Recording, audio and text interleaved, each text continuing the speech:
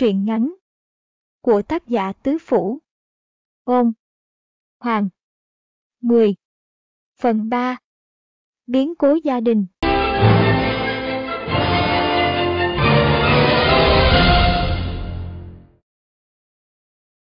Cuộc nổi dậy của dân làng khuyển là khởi đầu cho những cuộc nổi dậy tiếp theo sau này, đem đến cho người dân niềm tin vào một tương lai tươi sáng.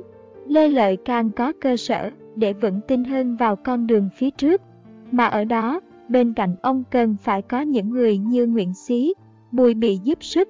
Lê Lợi ôm chặt Nguyễn Xí như con trai ruột, ông nói với cậu bé. Con trai giỏi lắm, nước Đại Việt ta đã có tương lai rồi. Dân làng khuyển theo Lê Lợi đến Lam Sơn, Ngọc Lan và bầy sói cũng đi cùng. Trước lúc đi, cô bé dắt một chú chó đến trước xí, chỉ vào nó và nói với xí. Tên nó là Thiết Đột, nó rất thông minh và dũng cảm. Anh xí hãy để nó theo bên cạnh để bảo vệ cho anh. Cha con ông Nguyễn Hội chia tay đoàn người của Lê Lợi trong lưu luyến lắm. Về đến Thượng Xá, Ông hội kể lại câu chuyện làng khuyển cho dân thượng xá. Ai nấy đều khâm phục lòng dũng cảm và mưu lược của cha con ông hội. Trong lòng họ cũng đang cháy rạo rực ngọn lửa khởi nghĩa đấu tranh để giành lấy sự tự do, điều mà trước đây họ chỉ nghĩ rằng đó chỉ là giấc mơ. Đối với Nguyễn Xí, cậu cũng cảm thấy hân hoan rộn rã. Cái cảm giác được đánh giặc cứu dân dân tràn lên mãnh liệt, con đường đấu tranh phía trước còn dài. Giờ này thì cậu đã kiệt sức, cậu cần phải nghỉ ngơi và chìm vào một giấc ngủ sâu. Cậu bé đã ngủ thật say sau bao ngày mệt mỏi. Gương mặt trong sáng ngây thơ của một cậu bé vừa mới lên chín. Con thiết đột cuộn tròn nằm dưới chân xí, để canh cho cậu ngủ. Giấc ngủ đã đưa Nguyễn Xí vào một giấc mơ kỳ lạ.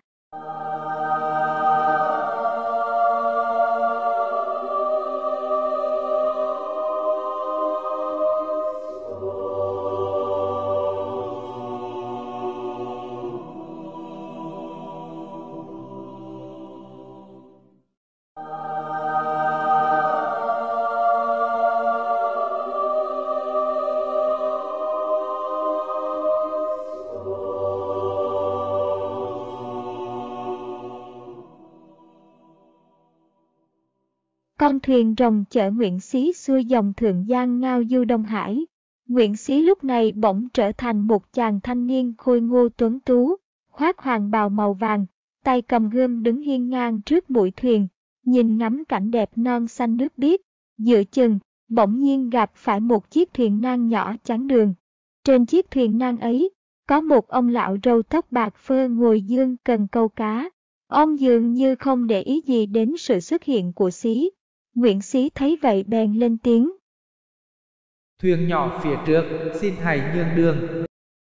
Ông lão ra vẻ không nghe thấy, cứ ung dung ngồi tiếp tục quăng cần câu ra xa. Nguyễn Xí kiên nhẫn nhắc lại tới ba lần, thì lúc này ông lão mới lên tiếng. Họa đến cận kề không sẽ thấy, dám phàm giúp nước cũng bằng không. Xí giật mình không rõ ông là ai, mà lại nói chàng như vậy. Xí đáp lại. Thưa, xin lão chỉ điểm giúp. Ông lão nói tiếp. Việc làm vừa rồi của người ở làng quyền tuy thắng, nhưng sẽ đem đến ba tai họa. Xí hơi hoang mang chưa rõ mình đã có thể tính toán sai việc gì, chàng đáp lời ông lão. Kể sắc tôi đã suy nghĩ rất kỳ, chiến thắng cùng đã định, dân làng quyền thoát nạn. Vậy làm sao có tai họa được?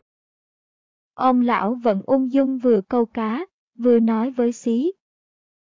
Lẽ ra người chỉ cần đưa người làm quyền vào rừng ít hôm rồi chuyển dân làng tới vùng khác sinh sống, nhưng người lại quyết định đánh. Người đánh thắng xong trận này, vậy trận tiếp theo sẽ như thế nào? Người đã nghĩ tới chưa? Thứ nhất, kẻ địch của người sẽ chấp nhận chịu thua nhục nhã như vậy sao? Chắc chắn là không. Họ sẽ tiếp tục truy lùng, tìm kiếm và tiêu diệt sạch những người nổi dậy làm quyền Mặt khác, họ sẽ tăng cường những thủ đoạn đàn áp cai trị nhằm phòng tránh các cuộc nổi dậy khác. Người dân đã khổ lại càng phải chịu thêm nhiều nội thống khổ nữa. Thứ hai, vị quân chủ của người căn cơ chưa vững, binh tướng chưa đông, vậy mà người lại cầu viện để đưa chủ của mình vào con đường sinh tử. ông ta còn có thể tiếp tục để xây dựng lực lượng một cách bí mật được nữa hay không? Thứ ba, gia đình, bình nhà và dân làng sẽ ra sao khi kẻ địch của người điều tra ra những người đứng đầu trong cuộc nổi dậy, người gây họa cho gia đình, họa cho dân chúng và họa cho sự nghiệp cứu quốc, bà tai họa đến gần như vậy, mà người còn có thể thong dong sao? Nguyễn Xí nghe thấy từng lời ông lão, mỗi lời nói của ông giống như một nhát dao đâm vào tim chàng. Chàng thực sự quá sơ sót khi chưa tính tới hậu quả sau cuộc nổi dậy. Sau vài chốc bàng hoàng, Nguyễn Xí lấy lại tinh thần, hỏi ông lão. Thưa lão, vậy con cần phải xử lý việc này như thế nào, xin lão chỉ giúp. Ông lão thu cần câu, đứng thẳng dậy, hướng mắt nhìn Xí một cách thân thiện, ông nói. Mọi chuyện xảy ra Âu cũng là duyên vậy, ta cũng không thể trách con, vì dù sao con cũng đang trong hình hài và suy nghĩ của một cậu bé 9 tuổi. Ta chỉ đến đây để nhắc nhở con, chuyện còn lại, con cứ phải tự suy nghĩ tìm cách. Ông nói rồi, đẩy con thuyền nan hóa vào làng sương trắng hư không, vụt mất, tiếng nói còn vọng lại. Quốc gia xã tắc đặt lên đầu, việc nhà dù khốn vẫn phải xong. Cha con vì nước sinh ly biệt, duyên trần đã hết chờ cưỡng cầu. Nguyễn Xí vùng vẫy gọi lớn trong giấc mơ. Cha, cha ơi, cha,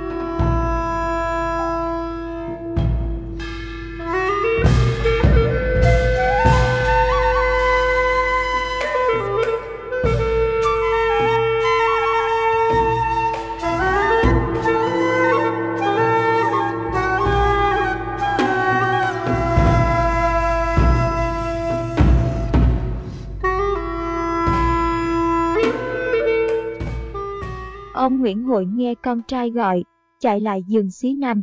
Ông biết xí đang nằm mơ một điều gì đó. Ông lay cậu bé dậy. Xí mở mắt nhìn cha hồi lâu. Hai con mắt bỗng nhiên ửng đỏ, nước mắt trào ra. Ông Hội ôm chặt con trai vào lòng an ủi. Cha đây, cha đây rồi, con đừng sợ. Ông đâu biết điều mà xí đang lo sợ nhất lại chính là an nguy của ông. Cậu để cho ông hội ôm thêm một hồi lâu nữa, thì cậu bắt đầu lên tiếng nói với cha. Con có chuyện muốn nói với cha, cha hãy gọi mẹ và anh Biện vào luôn. Khi mọi người trong nhà đã đầy đủ, Xí bắt đầu phân tích ba tai họa theo lời ông lão trong mơ đã nói với cậu. Nghe xong ai nấy đều bàng hoàng. Ông hội hỏi Xí. Vậy con có cách gì chưa? Nguyễn Xí trầm ngâm suy nghĩ hồi lâu rồi trả lời. Trong tình hình này, chúng ta tìm cách nhanh chóng bảo vệ chủ Lê Lợi, để chủ đưa mọi người trốn đi. Cha thu xếp giao công việc chỉ huy đội quân dân thường xả cho người thân cần, dặn họ là hạng binh bất đồng trong giai đoạn này. Còn gia đình mình sẽ thu xếp lên họp quân cùng chủ Lê Lợi. Nói xong, Xí liền viết một bức thư, nội dung như sau. Kính thư chủ Lê Lợi, cháu, nguyện sĩ có tội, mong chủ tha thứ. Vì suy nghĩ chưa chu toàn nên cháu đã đưa chủ và đội quân của chủ vào hoàn cảnh nguy hiểm. Sau sự việc làng khuyển, chắc chắn giặc minh sẽ điên cuồng càng quẹt và truy lùng những người tham gia cuộc nổi dậy. Với lực lượng của họ, không khó để họ sẽ tìm ra chúng ta trong thời gian ngắn. Vì vậy, cháu gửi thư này cho chủ, mong chủ suy nghĩ đưa quân tạm lạnh đi. Cháu đã xem bản đồ địa hình, có một vùng đất vô cùng thuận lợi để chủ động quân, khu vực này về phòng thủ, khó tấn công. Phía trước có sông ngầm che chở, phía sau có núi dâu hiểm trở, nơi này gọi là lùng nhai, chủ hãy nhanh chóng đưa mọi người vào xây dựng thành lũy nơi này, lấy đó làm căn cứ. Thời gian gấp gáp không thể nói dài, mong một lần nữa được chủ tha thứ, con, nguyện sĩ kính thư. Sau đó, xí sai thiết đột đem thư chạy ngày đêm về Lương Giang giao cho Lê Lợi. Gia đình ông hội cũng nhanh chóng thu xếp hành lý để chuẩn bị khởi hành đến Lũng Nhai.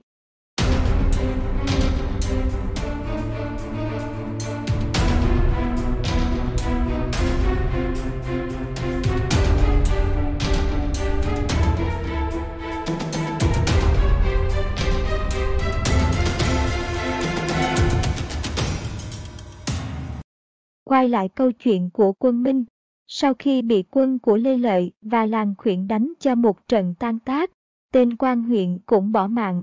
Sự việc lên tới châu phủ, tên quan tri châu chỉ huy một nghìn quân lính kéo đến làng khuyển. Nhưng khi hắn đến, thì nơi này đã trở thành một trận địa hoang tàn không còn một bóng người. Hắn điên tiết ra lệnh tăng cường áp bức đến tất cả người dân trong châu hắn quản lý, một cách rất tàn bạo. Từ phía bên kia đất Bắc, Minh Thành Tổ, tức vua nhà Minh thời bấy giờ, nghe tin liền hạ chiếu cho bộ hạ truy lùng và tiêu diệt tận gốc những người nổi dậy. Ngoài ra, hắn còn cử lực lượng cẩm y vệ sang tận Đại Ngu để thực hiện kế hoạch điều tra. Hai tướng Mộc Thạnh và Trương Phụ đem theo hàng vạn binh mã tiến sang Đại Ngu để sẵn sàng cho việc đàn áp các cuộc nổi dậy. Với lực lượng hùng hậu đem qua nước Việt khi đó, không lâu sau họ đã điều tra ra Lê Lợi và cha con Nguyễn Hội. Không vội vàng ra tay, bọn chúng tìm cách điều tra danh sách những người đi theo nghĩa quân Lam Sơn của Lê Lợi, nhằm mục đích đánh gọn một lần, tiêu diệt tận gốc. Bên cạnh đó, chúng dùng lợi lộc mua chuộc những người Việt tham lam, bán nước cầu vinh. Trong bọn Việt gian thời đó có người tên Độ Ái và Lương Nhữ Hút, Độ ái ban đầu cũng kết nghĩa bằng hữu với Lê Lợi và tham gia vào nghĩa quân Lam Sơn, nên tình hình trong nghĩa quân hắn nắm rất rõ. Trong cuộc chiến hỗ trợ làng khuyển, hắn cáo bệnh không thể tham gia, nhưng thực sự hắn là người hèn nhát, sợ chết.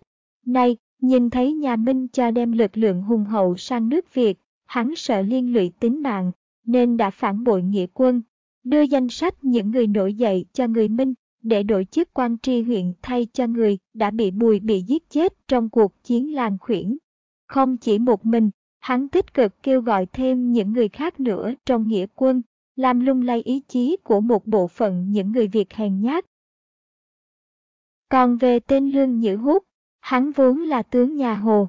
Năm 1406, khi quân Minh sang đánh, Lương Nhữ Hút ra hàng, được phong làm tri phủ Thanh Hoa Nhữ hút từng sang yên kinh chầu Minh Thành Tổ, được vua Minh Thành chức hữu tham chính và ban sắc khen ngợi công lao.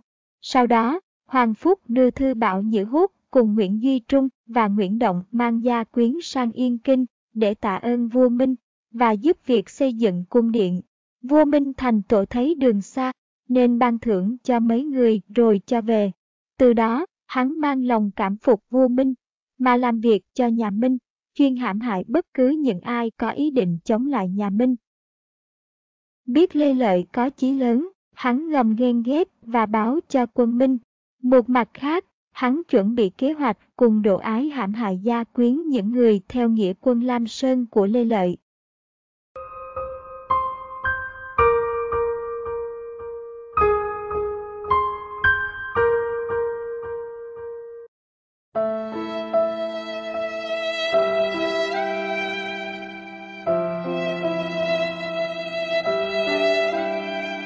Con thiết đột theo lệnh của nguyễn xí ngày đêm chạy về Lương Giang. Ngọc Lan nhìn thấy thiết độ quay về, e là có chuyện không lành với Nguyễn Xí. Nhìn thấy bọc vải trên người con sói, cô bé lập tức tháo túi vải chạy đến gặp Lê Lợi. Nhận được túi vải từ Ngọc Lan, Lê Lợi mở túi vải ra, thì nhìn thấy trong đó có bức thư của Nguyễn Xí. Ông đọc kỹ lưỡng từng dòng một. Ngọc Lan nhìn cha nuôi Lê Lợi đọc thư, mà thần sắc biến đổi liên tục, nên cũng đang sốt ruột lắm. Vừa lúc này, một người thân cận của Lê Lợi là Phạm Vấn Hớt Hải chạy vào thưa.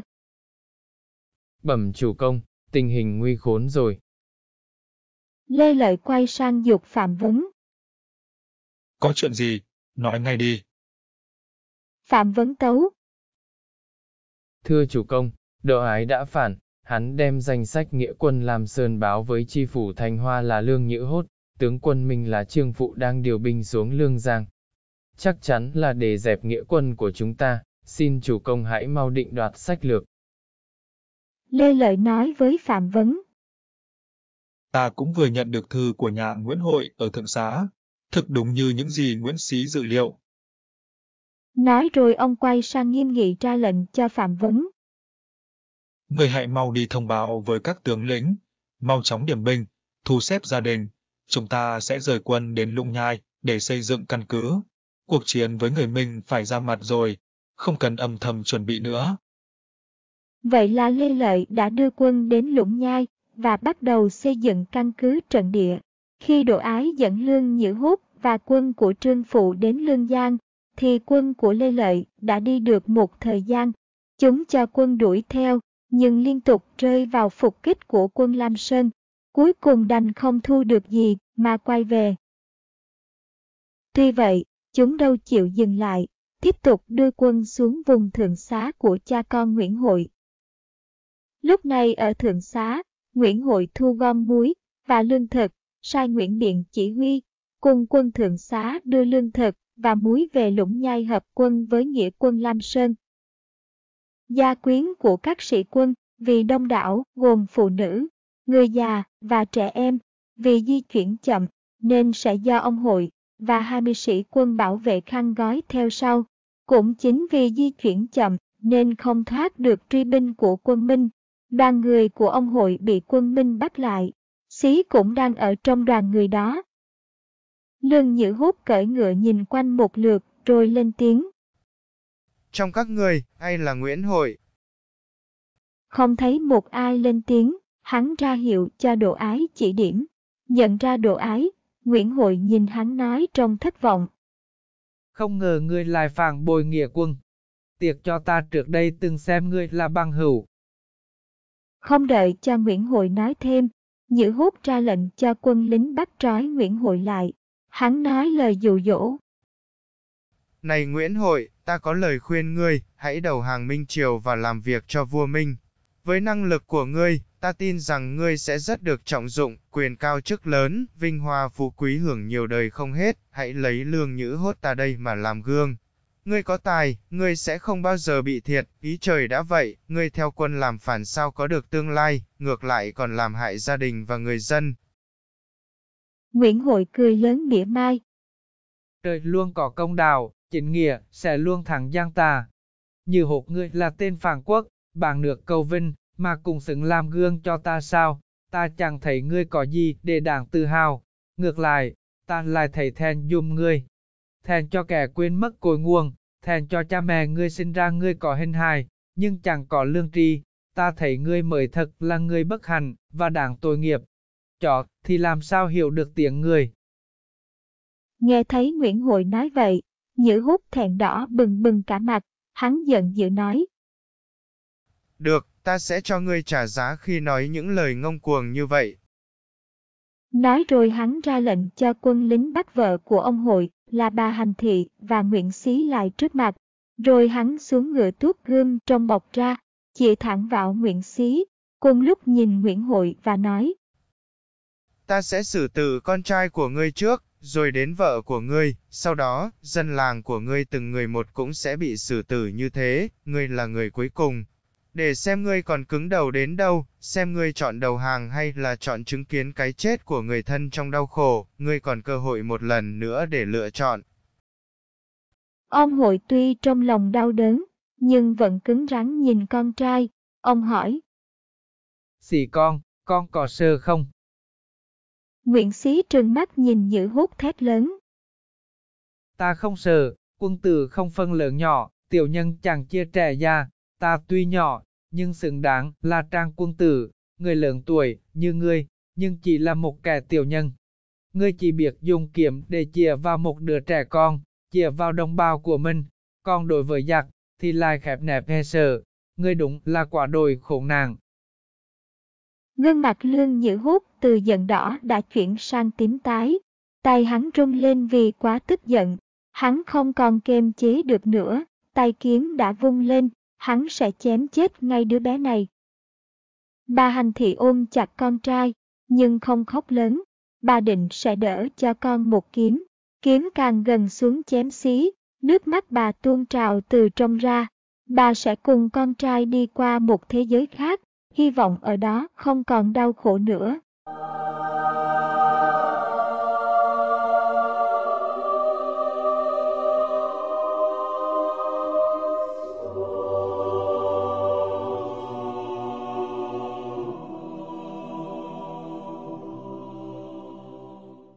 Bỗng, một tiếng rú lớn vang lên.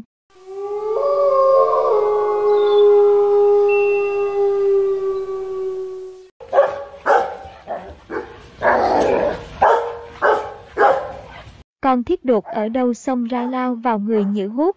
Nó cắn vào tay cầm kiếm của hắn làm kiếm rớt xuống đất. Nó không dừng lại, lao vào cắn hắn. Nhữ hút hoảng loạn bỏ chạy ra phía sau. Nhân cơ hội đó, Nguyễn Xí nhanh trí kéo tay mẹ bỏ chạy.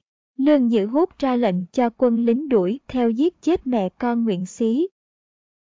Chúng đuổi tới một bờ vực sâu, cùng đường không lối thoát, Xí cầm tay mẹ cùng nhảy xuống, thà chết như vậy, còn hơn chết trong tay bọn giặc minh.